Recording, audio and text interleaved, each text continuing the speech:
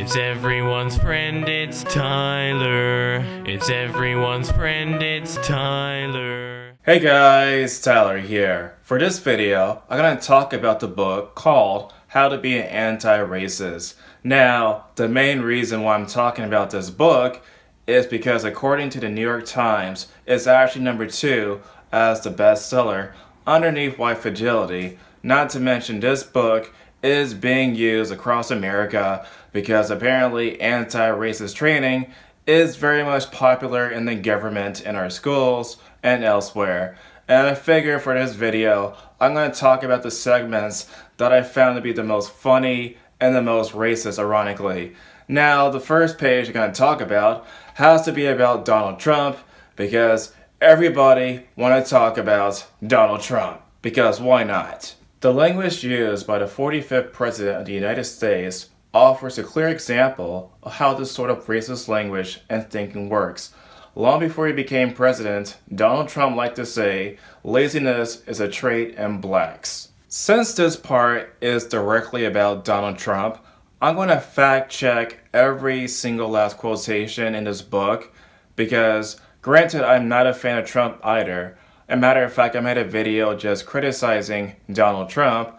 However, I think that truth is more important than feelings and how I feel about a person.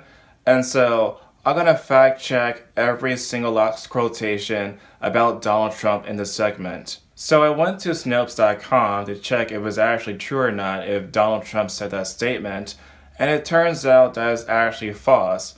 We were unable to locate any instances in which Trump visited Annapolis at any point in October 2015. More so, the comments attributed to Trump, purposely spoken to an American audience in an American city by African websites, rated as far more offensive than prior controversial marks by the candidate in the past that were widely reported by U.S. media, yet for some reason, this quote didn't attach the attention of a single US based political blog or website. When he decided to run for president, his plan for making America great again was defaming Latinx immigrants as mostly criminals and rapists and demanding billions for a border wall to block them. First of all, you really fucked up by calling Latinos Latinx because according to the Pew Research Center, most Latinos in this country do not identify themselves as Latinx. As a matter of fact, only 3% of the whole entire population identify themselves as Latinx. Not to mention, of course, Spanish is a gender language, it's a real man's language.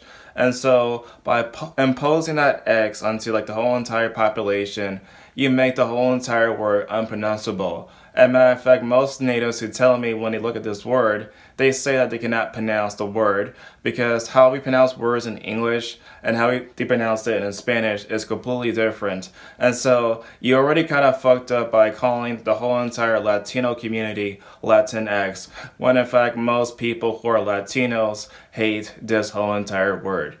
As far as this whole entire comment about like there are rapists and murderers coming across the borders, Again, I don't like that comment either, but he's referring to criminals, he's referring to rapists. He's not saying that every single last Mexican and every single last criminal is a Mexican. He's referring to those specific type of people. And so to me, when he's saying like rapists and murderers are coming across the borders, he's talking about rapists and murderers, not all Mexicans. He promised a total and complete shutdown of Muslims entering into the United States. Well, if you're talking about the travel ban, he banned places like Iran, Libya, North Korea, Syria, Venezuela, Yemen, and Somalia. So I don't think it's a real Muslim ban per se, because Muslims from different parts of the world that are not in those places can come to the United States. And so I don't really think for a single second that he prevented every single last Muslim to come into the United States. He claimed immigrants from Haiti have all A's, while praising white supremacists as very fine people in the summer of 2017. This has to be one of the most misquoted things I heard about from Donald Trump.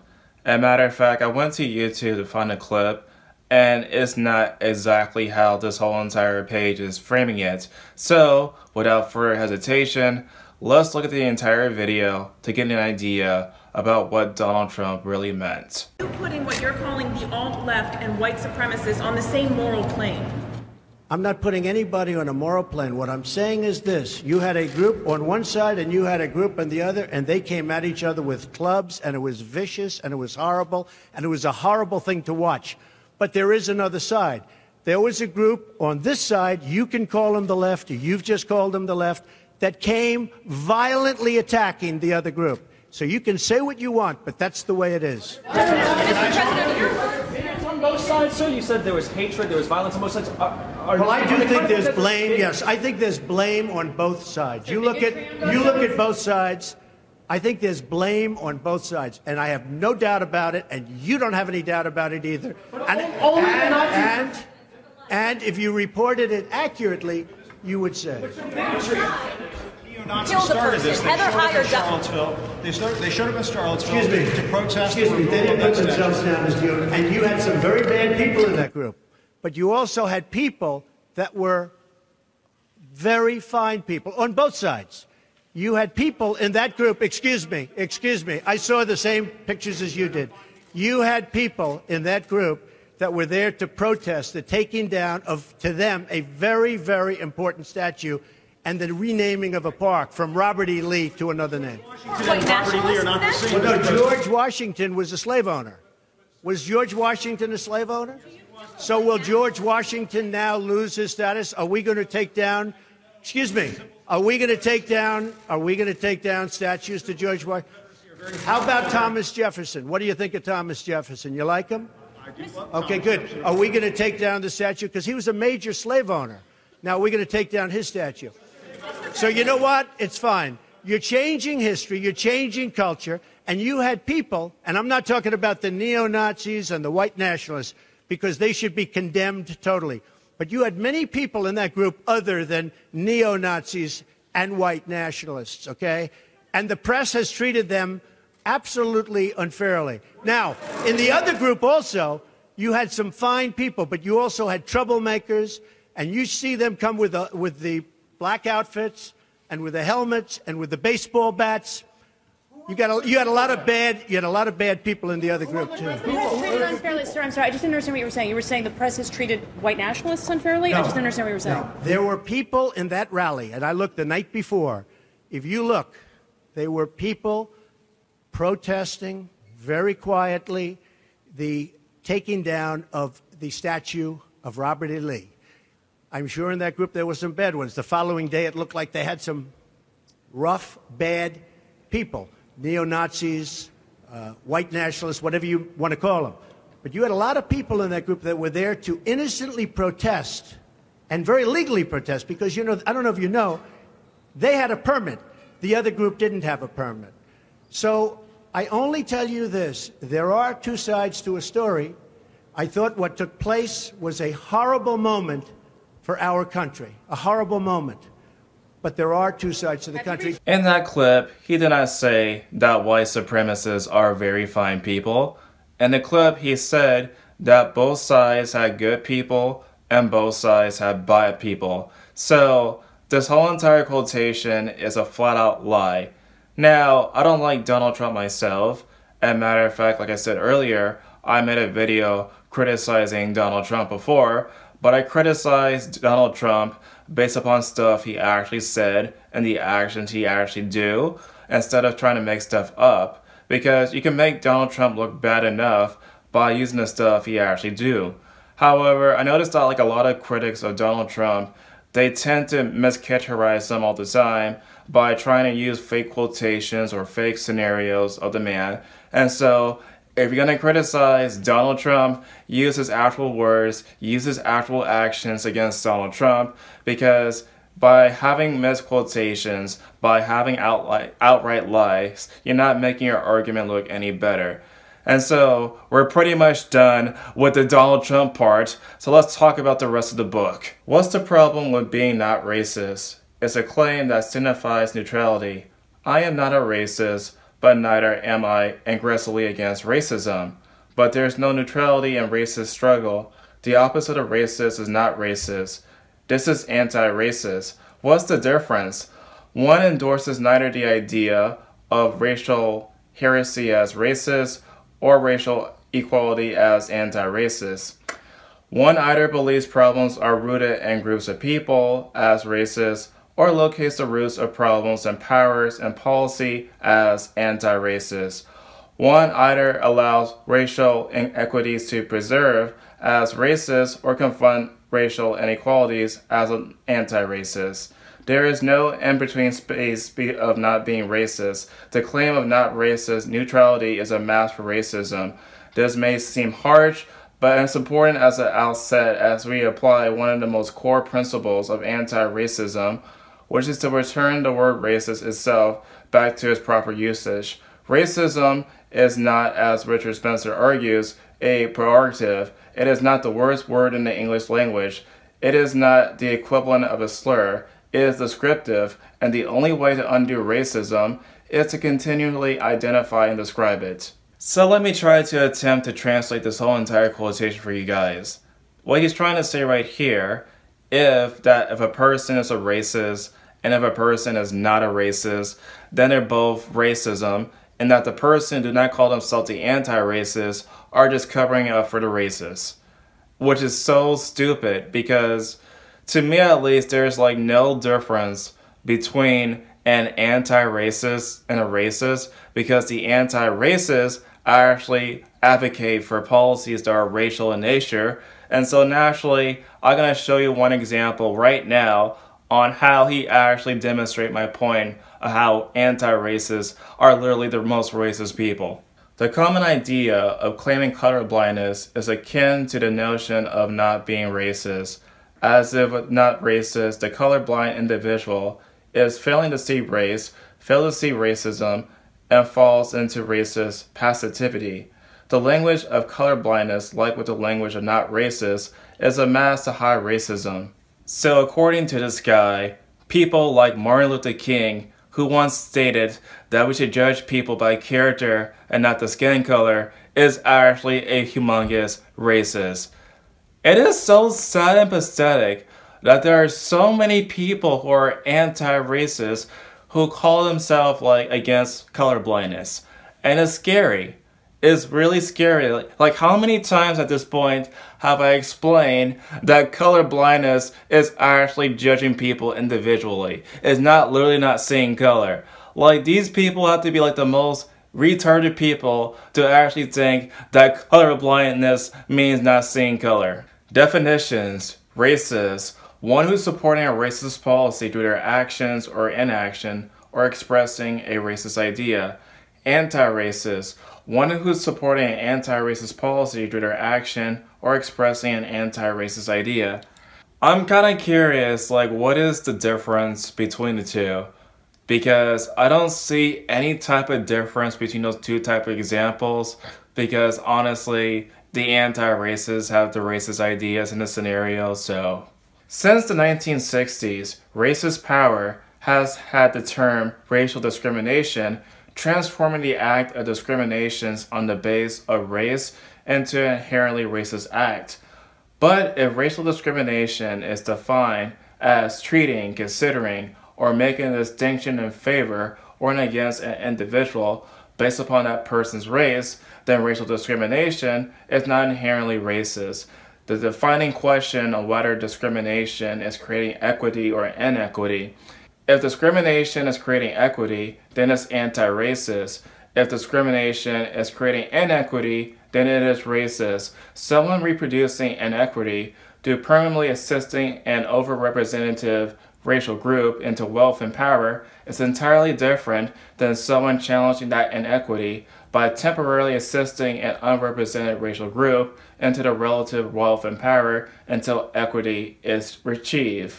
The only remedy to racist discrimination is anti-racist discrimination. The only remedy to past discrimination is present discrimination. The only remedy to present discrimination is future discrimination. So there you have it guys. This person just justify discrimination against other people in the name of equality, in the name of anti-racism, because you see, racist stuff happened in the past, and so therefore it's justified in the present.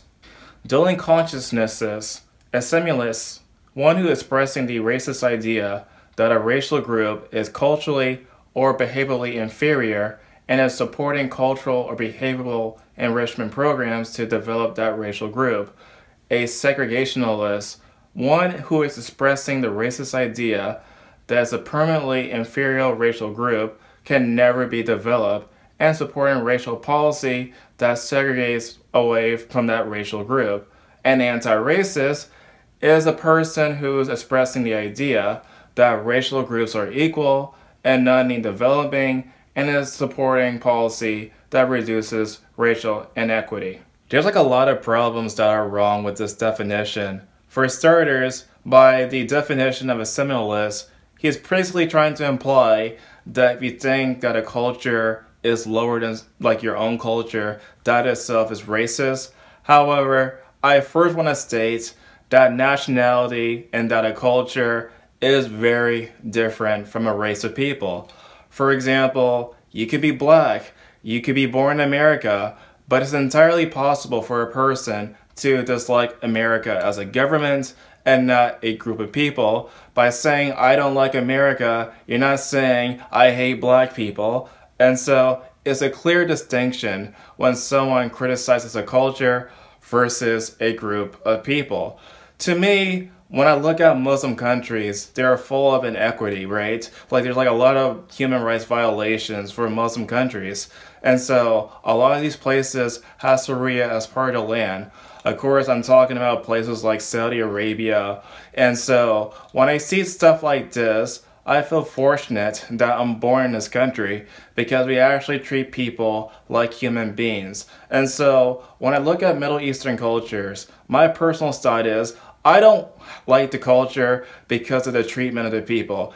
I don't hate a culture because of a certain race of people. And so to me, the most important aspect when I say that United States culture is better than Middle Eastern culture, race is not like part of the equivalent when I think about that.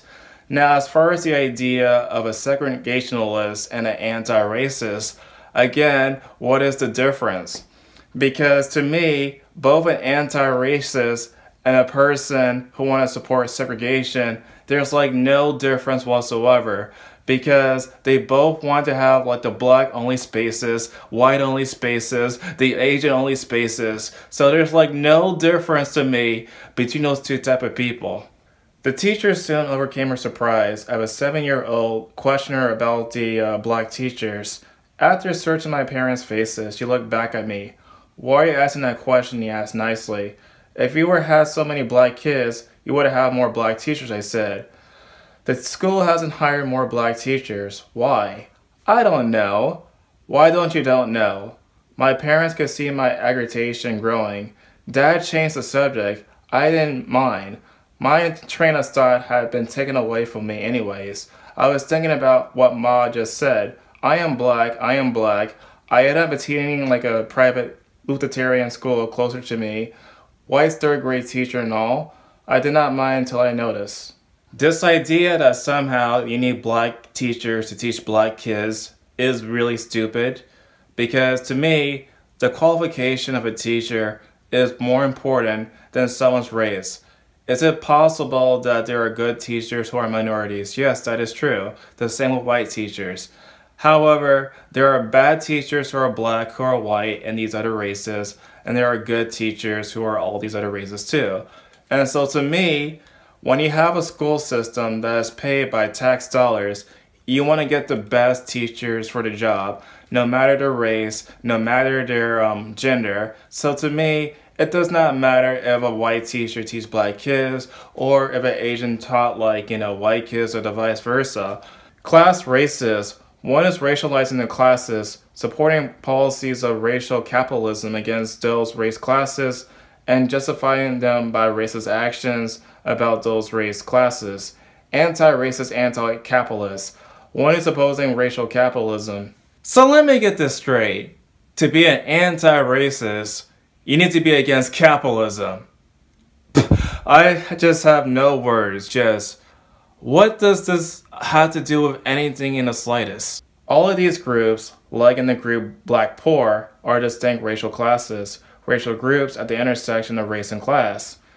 Poor people are class, black people are race. Black poor people are a race class. When we say poor black people are lazy, we're expressing an elitist idea.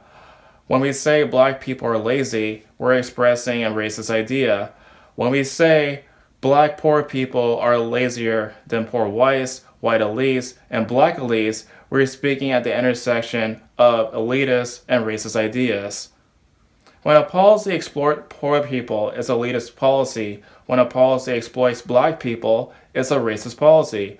When a policy exploits black poor people, the policy explored at the intersection of elitist and racist policy, a policy intersection of class racism.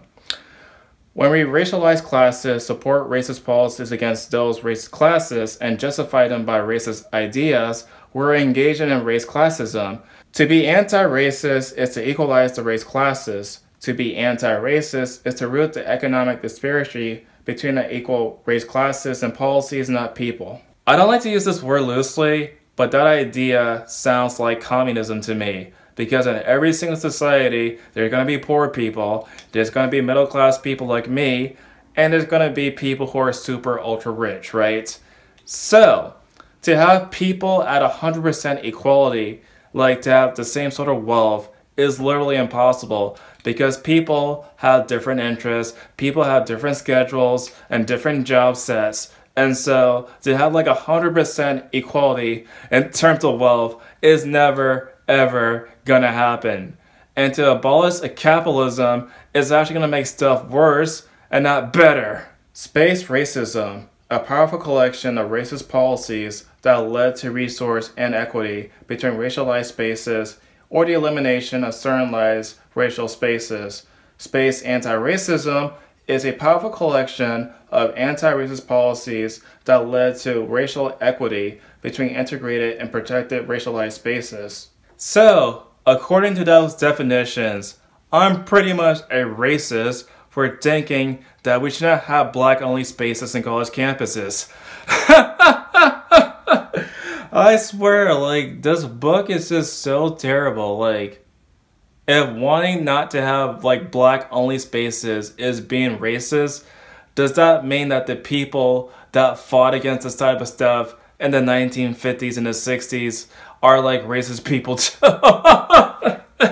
it is, like, so, like, again, it comes back to my point earlier in the video. Like, what is, like, the difference between an anti-racist and a racist because I cannot see like no freaking differences whatsoever.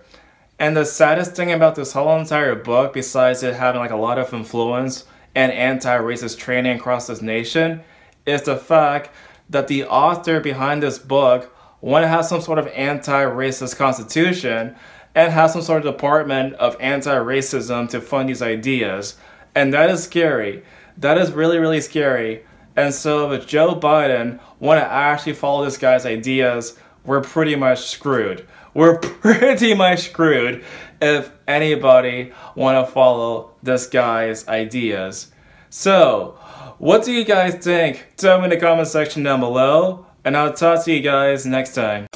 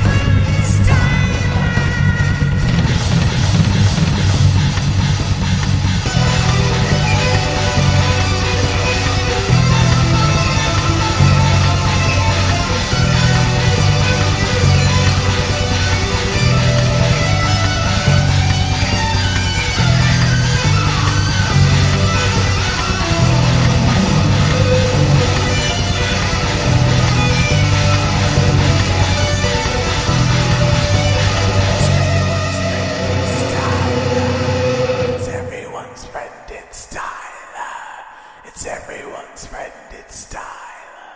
It's everyone's friend, it's Tyler. It's everyone's friend, it's Tyler. It's everyone's friend, it's Tyler. It's everyone's friend, it's Tyler. It's everyone's friend, it's Tyler. It's everyone's friend, it's Tyler. It's everyone's friend.